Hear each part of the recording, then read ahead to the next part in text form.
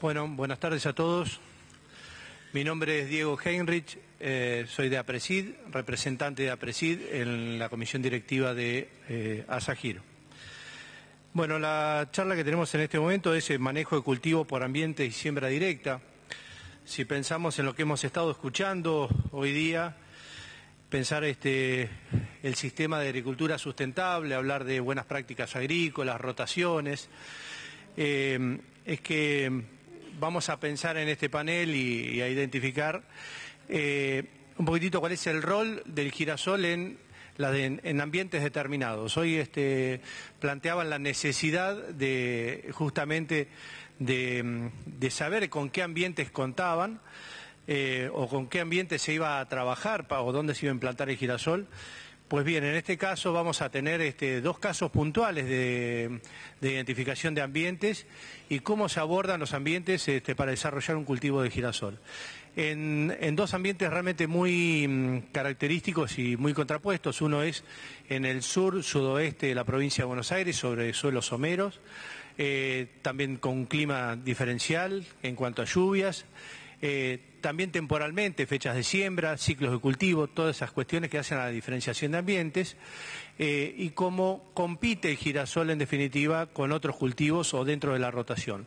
Eh, Fernando, este, perdón, y, Eduardo Barrios nos va a presentar girasoles en Mar del Plata. justamente es un ambiente de alto potencial y en búsqueda de un alto rendimiento.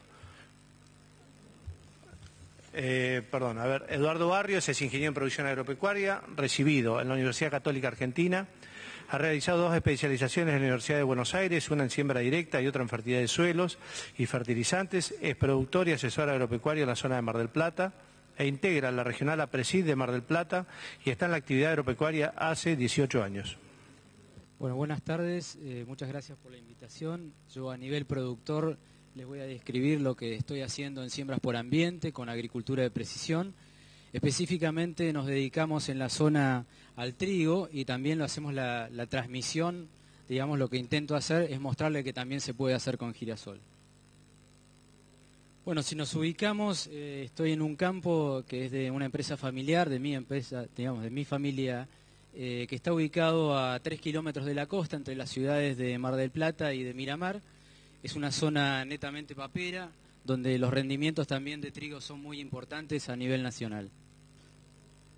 Las características rápidamente de lo que es la zona de Mar del Plata es un clima templado con influencia marítima, precipitaciones que son de 850 milímetros anuales, temperaturas máximas de 19 grados, temperaturas mínimas promedios de 9 grados. Son suelos argiduales típicos de la serie Mar del Plata y serie Tandil y en profundidad de suelos encontramos algunas cosas distintas como pueden ser las lomas que tienen una profundidad de 40 centímetros de suelo hasta 100 centímetros o más. En los 40 centímetros ya encontramos presencia de, tosca y generalmente se debe a suelos que son decapitados en el horizonte A. La materia orgánica se ubica en un 6,5%, las cantidades de parte por millón de fósforo están en 18 y en azufre en 7. Si hablamos del girasol en siembra directa, yo quería hacerlo un poco rápido, así vamos después a lo más jugoso, digamos, que es la parte de ambientes.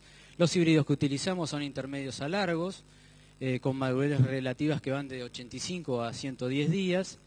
Las densidades se ubican en 62 a 50 mil plantas. Después podemos ver si es en secano eh, con dosis altas o dosis bajas.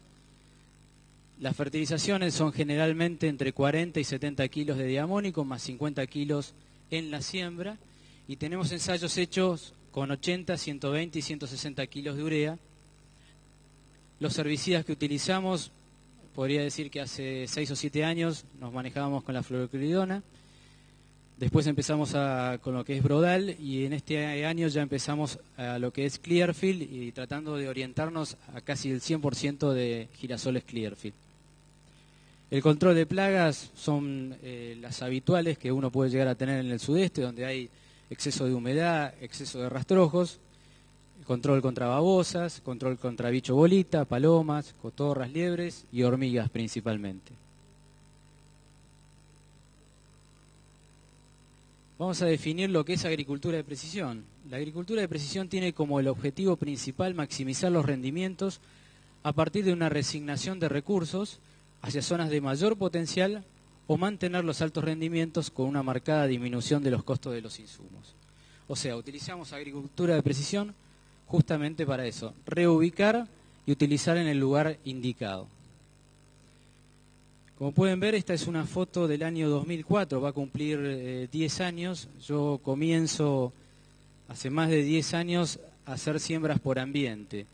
Eh, comienzo a analizar un poco los lotes y ver las profundidades que tienen. Entonces ustedes pueden ver que en esta zona, esto es un rastrojo de girasol que ya fue cosechado, acá hay una loma profunda, acá hay una media loma que es profunda, esto que ustedes ven acá es un arroyo de de un metro de cauce y el bajo puro sembrado de maíz. Y acá nuevamente el girasol. Donde en esta situación, si nosotros la, tomáramos para maíz, tendríamos, supónganse, fertilizando para 9.000 kilos, tendríamos una loma de 7.000 kilos y un bajo de 12.000 kilos, acá lo más cercano con aporte de napa.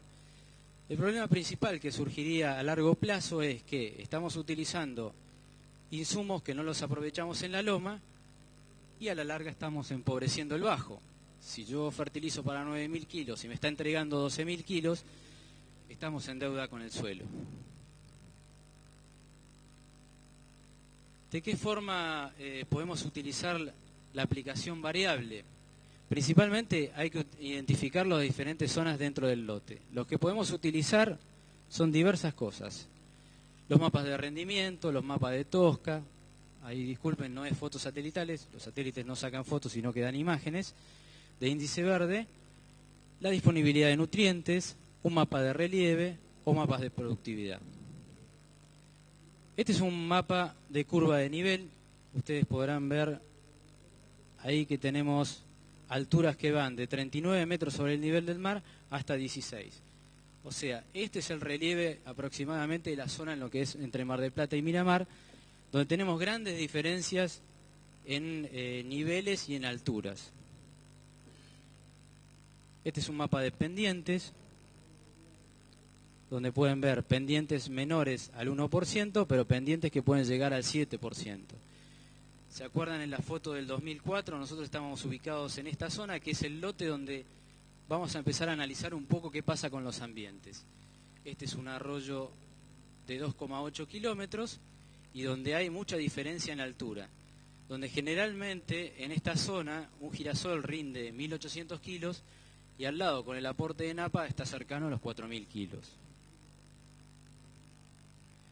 Este es específicamente un mapa de productividad que se realizó a partir de imágenes satelitales en el año 2010. Ustedes verán, aquí hay un crisol de, de colores, pero principalmente los colores verdes son los lugares de baja producción y los colores azules son de alta producción. Esto se hace a partir de un índice verde, que es una forma de determinar qué productividad puede llegar a tener potencialmente el lote. Este ya es un mapa de productividad generado a través de los mapas de rendimiento, donde ya empiezan a salir los alambrados y empieza a haber equipos de río también en esta zona, pero a pesar de eso ustedes ven alguna diferenciación de antiguos lotes. Los requisitos para realizar las siembras variables. A mi entender son un muestreo de suelo sectorizado por ambiente que me va a generar dos fertilizaciones y dos densidades de planta. Yo podría hacerlo con mayor cantidad de, fertilizaciones y con mayor cantidad de densidades de planta. Podría hacerlo numerosamente dentro de la prescripción. Después lo vamos a explicar detenidamente. Otra cuestión es, se realiza la prescripción para realizar la siembra y fertilización variable del cultivo de girasol. Nosotros deberíamos, a partir del muestreo de suelo, realizar una prescripción para que la aplicación sea realizada por un tractor. Después de realizada la cosecha, se busca una correlación entre el rendimiento potencial determinado por un mapa productivo que podría llegar a ser de imágenes satelitales o de medidores de rendimiento durante muchos años para ver si existe entre ese rendimiento potencial correlación con lo que realmente está entregando el medidor de rendimiento de la cosechadora. Los muestreos de suelo georreferenciados sectorizados o dirigidos. Ustedes verán puntos de distintos colores en las zonas verdes y azules donde dijimos que las verdes eran de baja producción y las azules de alta producción.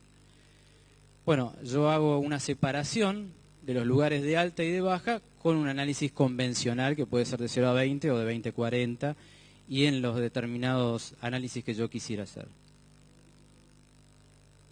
Vamos a analizar un poco lo que es una prescripción y un archivo de respuesta. Como ustedes ven acá hay muchos colores, hay un círculo que es un equipo de riego, hay una zona fija que es esta banda que ustedes ven aquí y tenemos un color de alta un color de baja para secano y en el riego un color de alta y un color de baja para riego y una zona fija, que la zona fija vendría a ser como una confirmación si se justifica o no el hacer el variable. Yo lo que hago es, a través de los análisis de suelo, generar en esos distintos ambientes, sea de secano o de riego, eh, buscar cuáles son las fertilizaciones ideales y cuáles son las densidades ideales para algún determinado cultivo. Realizo el archivo de prescripción, créanme que es muchísimo más fácil que hacer un PowerPoint para Sagir, y luego este, lo introduzco en la memoria de este controlador, que en realidad es una computadora que va a regular el tren de siembra o el eje del fertilizante o el eje de siembra. Se llama controlador o computadora. Este es un Terra 5200 que está en la, cabina del tractor y que va a ir determinando las variables, las, distintas dosis de fertilización o de densidad de plantas. Voy a obtener un archivo de respuestas, como ustedes verán, si yo abriera todas estas 130 hectáreas, tendría distintos colores que son las variaciones entre densidad y fertilizante. Ahí tengo que apurar un poquito. Estos son los aparatos. Eh, una bomba hidráulica, una electroválvula que abre y cierra el sistema hidráulico, puede ir en cualquier sembradora. Son de alta velocidad de respuestas a cambio de dosis, alto torque para mover gran cantidad de mecanismos, robustez ante condiciones hostiles de trabajo, respuesta eficiente y continua en todo el espectro de la dosis. Y no afecta el patinaje de la rueda que generalmente ocurre en, en sembradoras tradicionales. Este es un esquema simplificado donde tenemos los motores que van a la caja de cambio y a los ejes del fertilizante y de la siembra. Necesitamos principalmente tractor en buen estado, pero 35 litros por minuto de sistema hidráulico. Este es el, mapa de productividad generado a través del índice verde, donde vamos a analizar, ustedes pueden ver acá específicamente lo cercano al arroyo, el nivel de productivo que hay en esta zona no es nada que ver comparado con esta zona. Vamos a analizar el lote 6, campaña 11-12 de girasol y campaña 13-14. Este es el lote, más representativo del campo, principalmente por la gran altura que tiene y por la poca profundidad que tiene en esta zona que está la loma. En un año seco las diferencias son bastante notables y en un año húmedo las diferencias no se notan tanto con algo de encharcamiento. Este es un lote donde no tiene una correlación eh, buena, quizás por a lo mejor algún problema de hormigas, problema de implantación, eh, acá hay un monte grande, quizás falta de agua. O sea que no siempre los mapas productivos van a tener correlación con los mapas de rendimiento generados por las cosechadoras. El bonus track de la presentación es, ¿es conveniente regar girasol para buscar los máximos rendimientos? Eh, sí. Vamos a hacer un análisis rápido de un maíz frente a un girasol bajo riego esto es lo que hice en la campaña 13-14. Estos son los costos de, producción. Rápidamente, la diferencia es 60 dólares frente a 30 dólares porque tenemos el doble de milímetros. Eh, tenemos la semilla de maíz con un alto costo, la semilla de girasol con un menor costo. Eh, la urea que se tira en maíz es mayor, en el caso de, es menor en el caso de girasol. Y obtenemos un costo de producción de 588 dólares en campo propio, no estoy hablando de arrendamiento. Tengan en cuenta que esto que ven acá de 37,80, pónganle el precio que quieran en cuanto a los laboreos y la cantidad de laboreos que ustedes consideren. Pero en el girasol tengo un costo de 303, regado. Vamos a analizar el margen. Tenemos un precio de 168 en Necochea. ¿Está? Vamos a cosechar con 18% de humedad y lo vamos a secar para, para entrar en Necochea. Pero la diferencia que yo tengo aquí es que entro con 364, que es el precio de ayer, en Rosario, donde llegaron mis camiones, y no es el precio de 256 que en este momento está pagando Quequén. Tiene un flete de 475 pesos con 700 kilómetros. Esa es una de las desventajas que tenemos acá en el sudeste.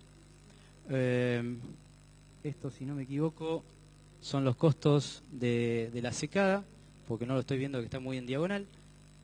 Eh, los fletes de maíz hasta Necochea con un valor de 148 pesos y los fletes hasta Rosario, que son un valor de 475 pesos. ¿Qué obtengo con todo esto? Un margen de 703, si no veo mal, y un margen de 702. Pero ¿qué rendimiento debo obtener para este tipo de, para lograr el mismo margen? Con un rendimiento de 12 toneladas de maíz llego a 703 y con un rendimiento de girasol de 3,75 llego a 702. La gran diferencia que, para mí es muy importante es principalmente la inversión de ese dinero, ¿no? Para lograr los 700 dólares. Eh, la inversión se hace aproximadamente con el 50% en girasol frente a un maíz, lo que significa que me voy a poner en el bolsillo el 50% del costo de producción. Los factores claves para regar.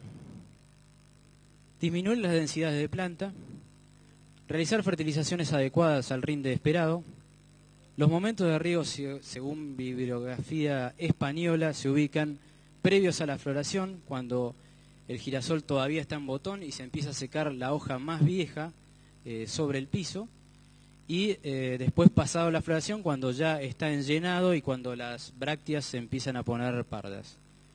La utilización de insecticidas lo más residual posible. La utilización de materiales Clearfield. Esto es riego con materiales Clearfield este es un ensayo que realicé abajo del círculo. Acá me escondieron algunos datitos. Pero los rendimientos andan más o menos en estos valores, frente a los 3.700 que nosotros estábamos buscando. Aquí este año hubo un ataque de Isoca bastante considerable en el Partido General Porredón por una decisión del intendente, no se puede realizar aplicaciones aéreas. Eh, ya estamos en proceso de, quitar eso con el Colegio de Ingenieros Agrónomos y con la regional La Presid de Mar de Plata. Se viene el final, eh, Asagir me pide el final con una conclusión. Y la conclusión para mí es la siguiente. El verdadero progreso es el que pone la tecnología al alcance de todos. Esto lo dijo Henry Ford. El que está abajo no es Henry Ford, es mi hijo, que ahí tenía dos años, en este momento tiene cuatro. La próxima generación ya está arriba del tractor. Eh, utilicemos la tecnología, la tecnología está al alcance de todos. Para que ustedes se den cuenta, el equipar la sembradora está en un aparato que es una computadora, el controlador, más el motor hidráulico, está en 8 mil dólares. Eh, hacemos un cálculo rápido, la urea está a 500 dólares. Si yo me equivoco, 50 dólares de más o 50 dólares de menos, son 25 dólares, divido 8 mil eh, con 25 y me genera que en 300 hectáreas estoy pagando el aparato de siembra variable.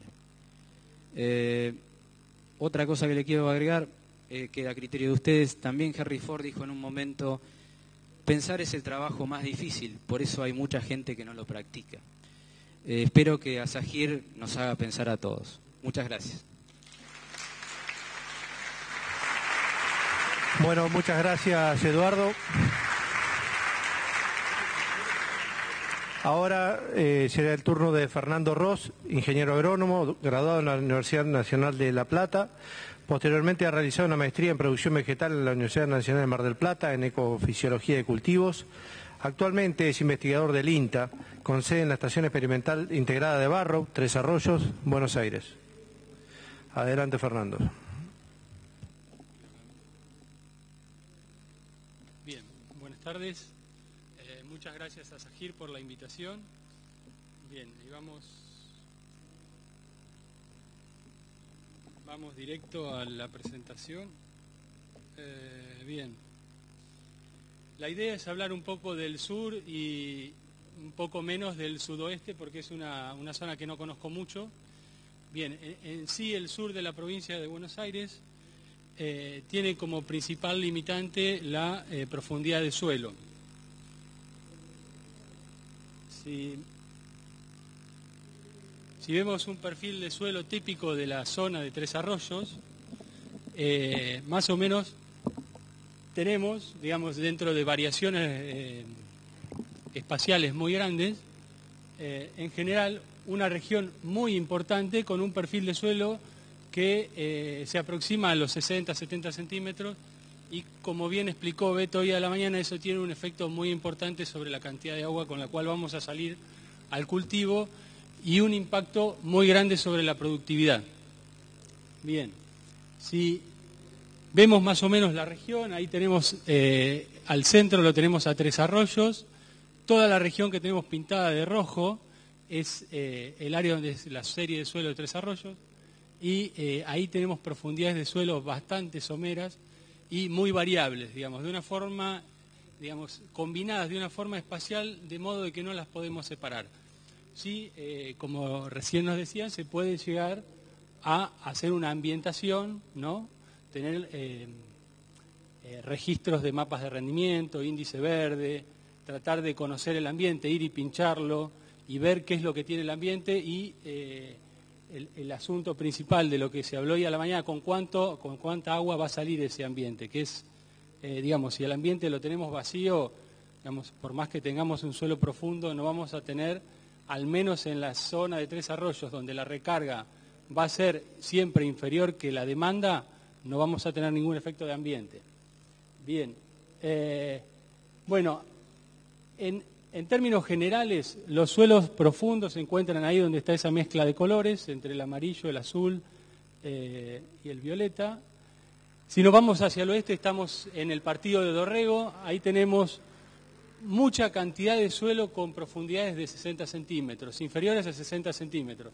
Esto nos da más o menos unos, si somos buenos productores y recargamos el suelo, le ponemos cobertura arriba y todo, nos da más o menos unos 90, 100 milímetros para salir con el cultivo y eso, si lo transformamos con las ecuaciones que vimos e-, esta mañana, son 1.500 kilos de girasol, con el manejo convencional, ¿no? Eh, el manejo convencional con siembra directa y un buen control durante el barbecho de malezas. Si nos vamos hacia el norte, está el partido de Chávez, ahí eh, también parte de Pringles. Eh, tenemos menor cantidad de superficie, pero eh, la superficie somera sigue siendo importante, alrededor de un 40% del lote va a tener aproximadamente el problema ese del girasol de 1500 o un poco menos, ¿no? Y bueno, y sobre el, este tenemos eh, los suelos profundos, que bueno, son los, que nos comentaban, digamos, los datos que vimos recién, donde el girasol tiene la capacidad de rendir 3.000, 4.000, hay establecimientos completos que este año, un año donde el registro hídrico fue malísimo, tienen eh, rendimientos de más de 4.000 kilos en la zona del cultivo de girasol. Eh, bien, si hablamos eh, del tema de ambiente, una de las mayores facultades del cultivo de girasol es transformar el agua a la siembra en rendimiento de los cultivos de verano es el más eficiente. Los cultivos de fina son un poquito más eficientes que el girasol, producto de eh, que se desarrollan durante el invierno y tienen menos eh, costo durante su desarrollo. Pero bien, el girasol es el cultivo más eficiente.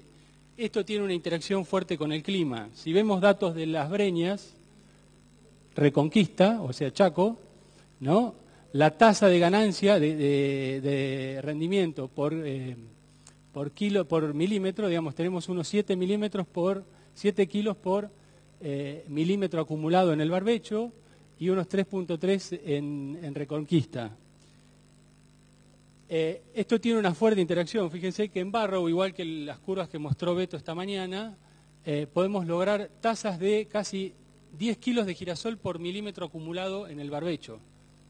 Sea, cuando tenemos lo que nos decía recién Eduardo, Eduardo, en las partes profundas, saliendo con el suelo a pleno, él puede lograr un girasol de 3.500, 3.700 kilos, donde es altamente competitivo contra el cultivo de soja, que es el cultivo, digamos, que le está comiendo, le está robando el, terreno al girasol.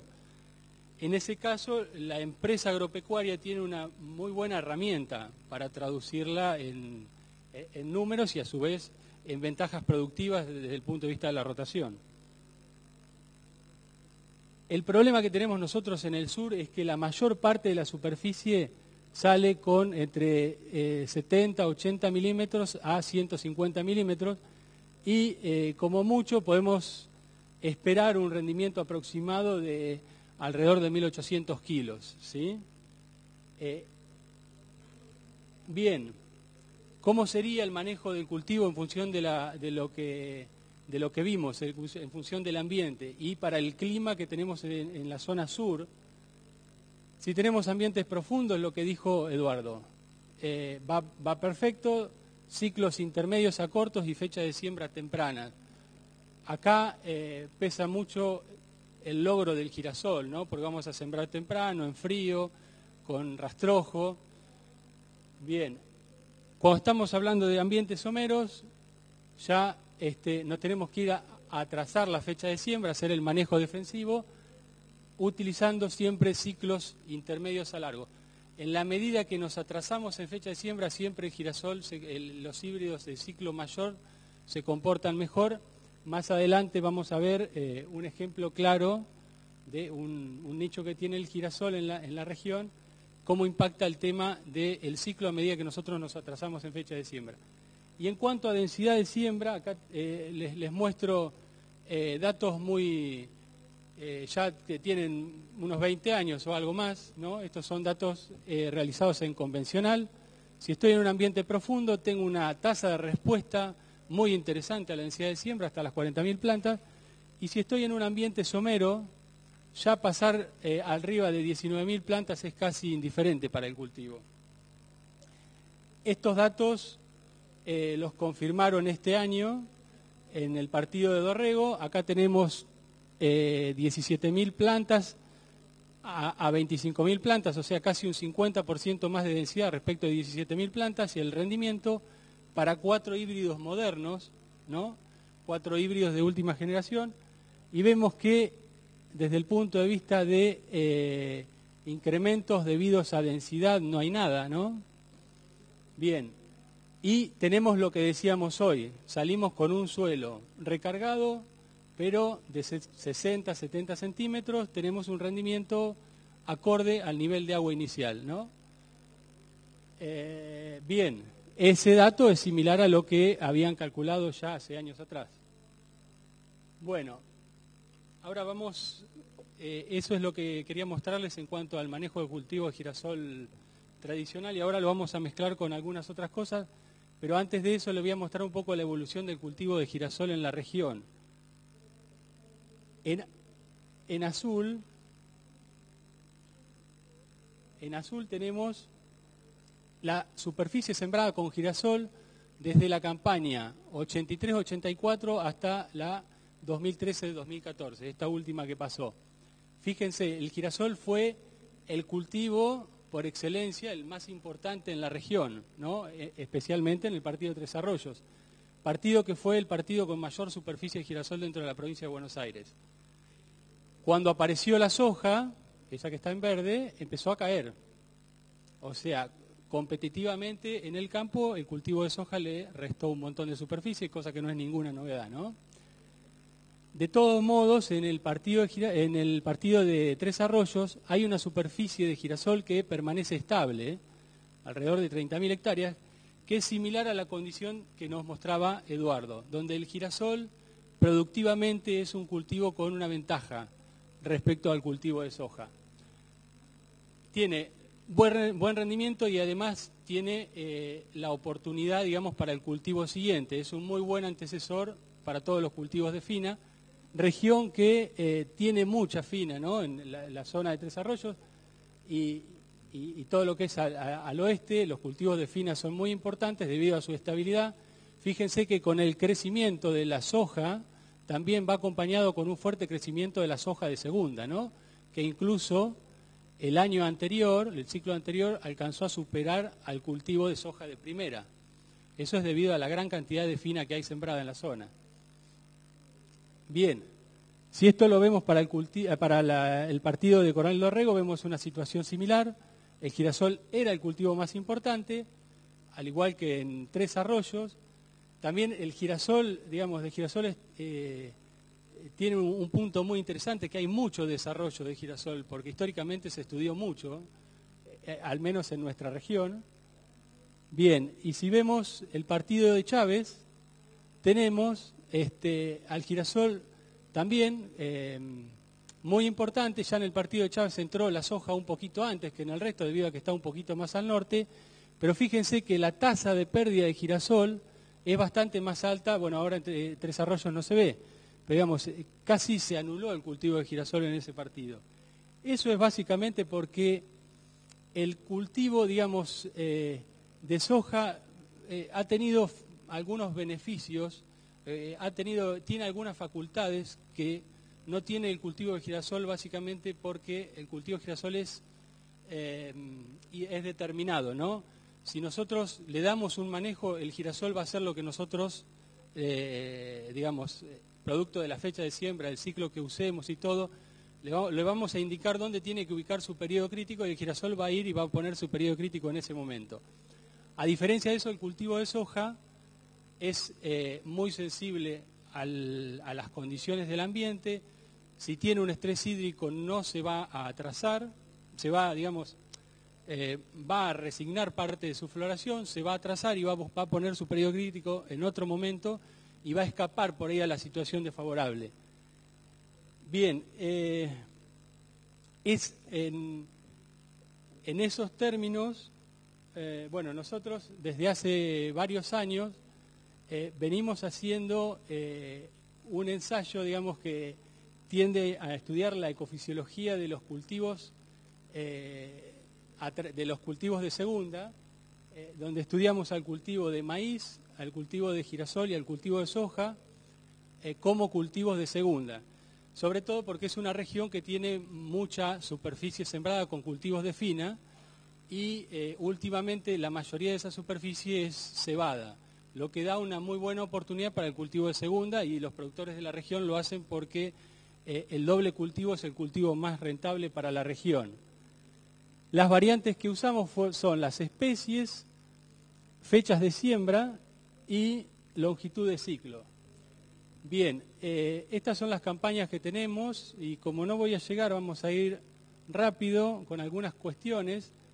Aproximadamente eh, hay dos cuestiones importantes para el cultivo de segunda. Una son las precipitaciones durante todo el ciclo, porque necesitamos precipitaciones tempranas para formar la estructura y la antena para después llegar bien a periodo crítico, después precipitaciones durante periodo crítico y llenado para lograr el cultivo. Y después, desde el punto de vista térmico, tenemos una caída fuerte de la temperatura entre marzo y abril, que sería el periodo de llenado, y sería, digamos, eh, una de las cuestiones que eh, hace crítica a los cultivos de segunda. Este es el promedio de rendimiento de girasol, de soja y de girasol como cultivos de segunda. En promedio, la soja eh, de segunda fue superior al cultivo de girasol, pero lo que encontramos para tres años donde las fechas, donde ubicamos dos fechas de siembra, una temprana y una tardía, un resultado lógico para soja con 30 kilos por hectárea por día de trazo de la fecha de siembra y un resultado positivo que la primera vez que lo vemos a esto es un dato muy difícil de digerir. O sea, rinde más cuando lo sembramos tarde, cuando lo sembramos casi en enero. Cuando lo sembramos temprano al girasol, aproximadamente eh, al, 20 de diciembre, el resultado que obtuvimos fue eh, inferior a sembrarlo tarde. Vamos, eh, algo parecido ocurre con el tema de ciclos. Acá vemos dos ciclos, uno intermedio y uno un poquitito más largo, donde el ciclo más largo son dos híbridos de punta muy buenos, pero en este caso, este híbrido tiene una ventaja porque tiene un ciclo un poquitito eh, mayor. Lo que, eh, y bueno, como resultado dio de que el, ciclo mayor fue superior. ¿no? Ambos híbridos, a medida que atrasamos la fecha de siembra, tuvieron un mejor rendimiento, pero siempre el ciclo más largo fue mejor. O sea, mejora atrasando la fecha de siembra y mejora eh, aumentando la longitud de ciclo. Son cosas que cuando uno eh, empieza a pensar en cultivos de segunda son totalmente opuestas a lo que eh, tenemos en, digamos, a la información que manejamos. Bien, esto lo vamos a pasar. Este es el contraste. Acá tenemos un girasol sobre avena de pastoreo y un girasol sobre avena de cobertura, como cultivo de cobertura, con una recarga completa a la fecha de siembra de girasol este girasol se sembró el 11, 10-11 de noviembre y el girasol de segunda, que estaba en un ambiente similar, no con un rendimiento muy parecido a un girasol de eh, primera para un suelo somero. Eso es producto del estrés que tenemos. Por más que nosotros le demos cobertura, lo que decía Beto esta mañana, por más que le demos siembra directa, cobertura, todas las cuestiones, si nosotros le ponemos el periodo crítico en un momento donde la demanda de agua atmosférica es eh, máxima, el cultivo de girasol eh, obviamente va a acusar eso y va a tener serios problemas. Eh, este girasol, el, girasol este sobre cultivo de cobertura venía hermoso y pasó la floración y se defolió por completo, lo que decía hoy Beto. Bien, ¿por qué rinde más un girasol sembrado más tarde y por qué anda mejor un ciclo largo? Básicamente, la respuesta a floración del, girasol es de día largo. ¿no? Si nosotros sembramos en diciembre, los días son muy largos. Entonces la estimulación a floración es máxima. Si sembramos un ciclo corto, se hace muy chiquito, se hace similar a una, a una margarita, ¿no? Es un, girasol chiquito. Bien, otra cuestión de las que eh, es un cultivo disciplinado el girasol. Nosotros lo sembramos y él cumple con el requerimiento fotoperiódico y con el requerimiento térmico. Es independiente de lo que pasa con el estrés hídrico. El cultivo de soja como el cultivo de maíz tienen un retraso muy importante por estrés hídrico. El cultivo de soja, sobre todo, es por eh, e-, este aborto de las flores iniciales. Y en el cultivo de maíz ocurre en los cultivos de segunda, en una etapa inicial, en la etapa juvenil, que se llama, ¿no? donde son insensibles al, al fotoperiodo, si tienen un estrés muy fuerte se atrasa la floración respecto de lo que podríamos eh, modelar por la, por la temperatura y fotoperiodo. Tiene eh, el girasol, bueno, la, alta tasa de crecimiento que podemos ver en un girasol de siembra temprana, en uno de siembra de segunda no la vemos, a veces lo supera el, maíz. Y eh, producto del manejo convencional, el girasol de segunda se ha hecho muchas veces, pero producto del manejo convencional, este, no ha eh, logrado buenos rendimientos, no le ha dado rédito al, productor. Pero creo que básicamente tiene que ver con que se usaban fechas muy tempranas y este, ciclos cortos, no todo lo contrario a lo que por ahí habría que eh, hacer. Bueno, después tiene el girasol, eh, para ir finalizando, porque me, lo, me están cortando, una condición digamos, el aceite en función de la radiación interceptada durante el periodo, ¿no? Y eh, lo interesante es que podemos lograr un girasol de alto rendimiento, como eh, un girasol de, siembra eh, temprana para esa misma fecha, ¿no? De, no de alto rendimiento. Digamos, la radiación no sería un factor limitante para lograr un girasol de 2.000 kilos, ¿sí? Con una pérdida mínima en aceite de alrededor de 2 a 3 puntos. Por otro lado, las temperaturas óptimas de crecimiento de girasol son mucho más frescas que las de cultivo de soja y de maíz. Eso es una ventaja muy importante y a su vez el girasol tiene mucho mejoramiento para implantarse en temperaturas frescas, ¿no? de que la semilla se pueda implantar con muy baja temperatura. Ese carácter eh, seguramente está transferido también al periodo de llenado. Y tiene cierta tolerancia a helada suave. Si ustedes ven acá, tenemos un cultivo de girasol de este año con una helada suave que cayó a mediados de abril y ahí atrás tenemos el cultivo de maíz, ¿no? Ahí vemos el maíz y las hojas totalmente desfoliadas, ¿no? Producto de la helada, cuando el girasol todavía continúa llenando, ¿sí? Es, tiene otra ventaja, que es un seguro contra una helada suave. Si vemos el tema de los ciclos que les decía hoy, este es un ciclo corto, un 303, y este es un ciclo intermedio, un 305, fíjense eh, cómo, va un girasol de segunda. Está a mitad de llenado y miren qué perfil de hojas verdes tiene. ¿no? Es un cultivo que llega a llenar con una antena mucho mejor que los cultivos de primera producto de la defoliación del estrés. Bueno, y para considerar un poco esto, siempre es una oportunidad de girasol de segunda porque eh, no compite contra la soja de segunda. En el momento que tenemos que dejar de sembrar soja de segunda es el momento óptimo para sembrar girasol de segunda. Bueno, y con eso eh, los dejo. Gracias. Bueno, muchas gracias Fernando. Tenemos algunas preguntas para cada uno. Vamos para Eduardo.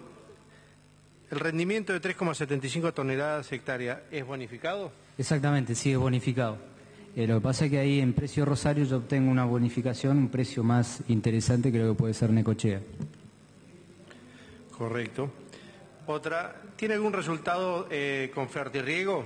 ¿Qué producto usa? ¿En qué dosis y periodo de ciclo? Hola, sí, en realidad no hago fertirriego porque justamente estoy haciendo siembras variables, con fertilizaciones variables y densidades variables.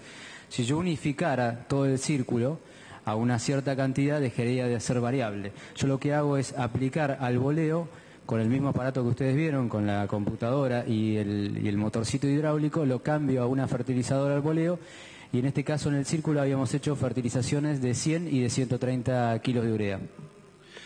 Y por último, a Eduardo también, así hacemos las tres en uno. ¿Por qué con el pivote de río bajás la densidad de girasol? ¿Es eh, ¿La lógica no sería aumentar para tener mayor número de plantas por metro y así lograr mayor número de granos? Eh, por recomendación de los genotistas me dijeron que convendría bajar la cantidad de plantas porque va a haber un mayor desarrollo por unidad de planta y puede llegar a tener algún problema de enfermedades, por lo que habían comentado en la charla anterior. Y la última, ¿cómo ajustas el, número de riegos en función de la potencial del agua del suelo? ¿De qué manera? Específicamente este año el cultivo recibió 650 milímetros, es un año bastante húmedo. Los extremos del, girasol en 18 años son de 300 hasta 700 milímetros, o sea que tenemos un intervalo bastante grande que es el más grande de todos los cultivos, por lo menos que realizamos en el campo. Y eh, la cantidad que yo le apliqué específicamente en ese círculo fueron 40 milímetros previos a la floración y 40 milímetros posteriores a la floración. Eh, hay bibliografía española que dice que hay algunos caminos o diagrama de flujos de cuándo fertilizar y cuándo no fertilizar. Bueno, gracias eh, Eduardo. Vamos con las preguntas de Fernando. ¿Cómo afecta, afecta, la fecha de siembra tardía al porcentaje de materia grasa? Bien, eh, ahí en una de las diapositivas, citando a Natalia Izquierdo, la materia grasa, la cantidad total de materia grasa cosechada tiene que ver con la radiación interceptada eh, en la fase media del periodo de llenado de granos. Eh, para estos girasoles que no tienen un potencial o no tienen un rendimiento tan alto, no tienen eh, un efecto notorio. pero lo que sí nos tocó fue de que el porcentaje de materia grasa cae dos a tres puntos respecto de lo que sería una fecha de siembra temprana. ¿Sí? Eh, esto, eh, eh, digamos, al principio cuando arrancamos haciendo girasol de segunda no sabíamos qué era lo que hacíamos. empezamos usando ciclos más vale más cortos y alta densidad de siembra.